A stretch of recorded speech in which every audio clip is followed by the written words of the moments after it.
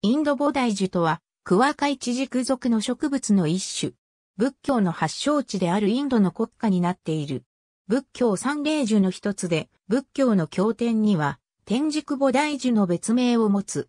インド菩提樹熱帯地方では高さ30メートルに成長する高木。本来は落葉性であるが、常に多湿なところでは常緑となる。葉は長さ15から18センチメートルの円状卵形で、先端が細長く突き出すように伸びて、お状になるのが特徴。葉身の表面は明るい緑色になる。他の一軸属と同様、締め殺しの木となることがある。耐寒性が弱く元来は日本で育てるには温室が必要であるが、近年では地球温暖化の影響で関東以南の温暖な地域では路地植えで越冬できたり、または鉢植えの観葉植物として出回っている。宗教の原因でインドの国家になって仏教を受けた国々に広く栽培されている。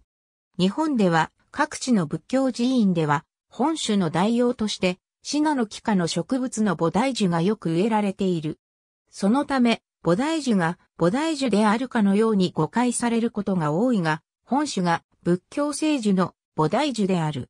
インドから東南アジアにかけて広く分布。